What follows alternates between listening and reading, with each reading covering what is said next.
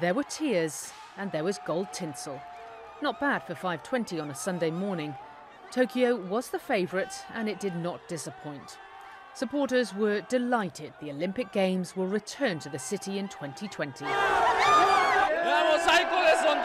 This boy shouts, I'm so happy. His friend adds, I knew we would win.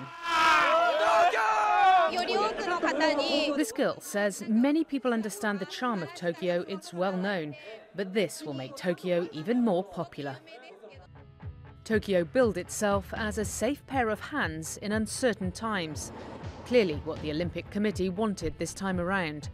And it doesn't hurt when your Prime Minister is willing to leave a G20 meeting early to help wave the flag.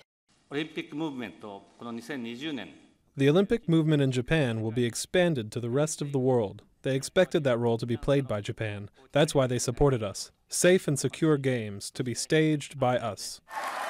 Even concerns over radiation spikes and fresh toxic water leaks at Fukushima nuclear power plant could not derail this bid. If I was foreign countries people, um, I think Tokyo and Japan is very dangerous. But I'm Japanese, so I just believe. It is a big win for Prime Minister Shinzo Abe as his strong personal involvement has paid off. Abe insists that Tokyo is safe and the Olympic Committee believes him. Paula Hancocks CNN Tokyo.